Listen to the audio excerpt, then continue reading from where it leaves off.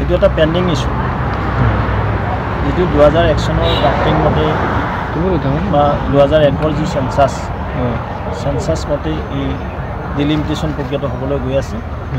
তাত ভাৰতীয় জনতা পাৰ্টীৰ সম্পূৰ্ণ সহযোগিতা আছে। আমি ডিলিমিটেশ্যন বিচাৰোঁ আৰু ই চি আই এইটো ফ'ল' কৰিব কংগ্ৰেছে যদি সাম্প্ৰদায়িক ৰাজনীতি তেওঁলোকে কি ৰাজনীতি কৰে বোলে? তেওঁলোকে কাৰ লগত এলায়েঞ্চ কৰে সুধিবচোন। সাম্প্ৰদায়িক দল এ আই ডি এফৰ লগত তেওঁলোকে ৰাজনীতি কৰি আছে আৰু কংগ্ৰেছে ওলটাই কয় বিজেপিক সাম্প্ৰদায়িক। সাম্প্ৰদায়িক দলখন এ আই ডি এফ আৰু এ আই ডি এফৰ লগত তেওঁলোকে সদায় হলি গলি। সদায় ডিভোৰ্চ দিয়ে সদায় ইলু ইলু হৈ থাকে। ইলেকশ্যনটো কংগ্ৰেছৰ চৰকাৰ গঠন হৈছিল তেওঁলোকে কিয় বন্ধ ৰাখিছিল? তেতিয়া তেওঁলোকে কৰি ল'ব লাগিছিল। আফটাৰ টুৱেণ্টি ছেকেণ্ড বাইছ বছৰৰ পিছত কংগ্ৰেছে এতিয়া কি কয়? কংগ্ৰেছে দেখিছে যে কংগ্ৰেছৰ ভেটি নোহোৱা হৈছে।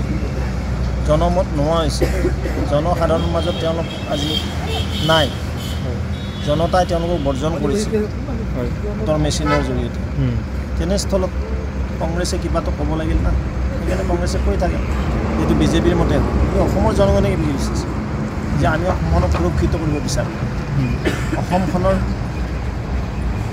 আগন্তুক পঁচিছ বছৰলৈ আমাৰ অসমীয়া মানুহৰ অসমীয়া বুলি কওঁতে অসমত থকা সকলো চাবকাষ্ট জাতি জনগোষ্ঠী সুৰক্ষিত হৈ থাকক তাকে আমি বিচাৰোঁ।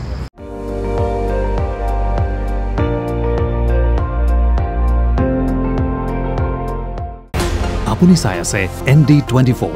সৰ্বশ্ৰেষ্ঠ নহয় সৰ্বোত্তমৰ দৌৰত